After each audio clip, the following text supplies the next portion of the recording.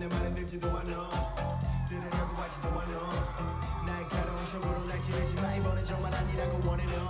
man 네가 볼땐난 배고파 절대 정확히 그날 밤집에서 자꾸 있었대도 you know that 오늘 늦게 일어난 건 작업하다가 그 작업이 여자 말고 맡기다니까